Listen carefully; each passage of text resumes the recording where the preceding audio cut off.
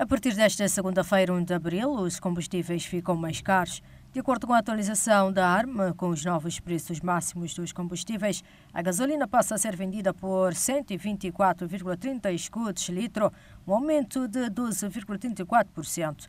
O gasóleo normal a 103 escudos, o gasóleo para eletricidade a 87,8 escudos litro e o gasóleo marinho a 74,30 escudos. O aumento de 1,38%, 1,62% e 1,64% respectivamente. O petróleo passa a custar 89,70 escudos litro o fuel óleo 380 66,10 escudos e o fuel óleo 180 71,70 escudos litro. Quanto ao butano passa a ser vendido a granel por 133,60 escudos quilo, mais 2,53% do que o mês passado, sendo que as garrafas de 3 quilos passam a custar 381 escudos, as de 6 quilos custam agora 801 escudos, as de 12,5 quilos 1.668 escudos e as de 55 kg custam 7.346 escudos.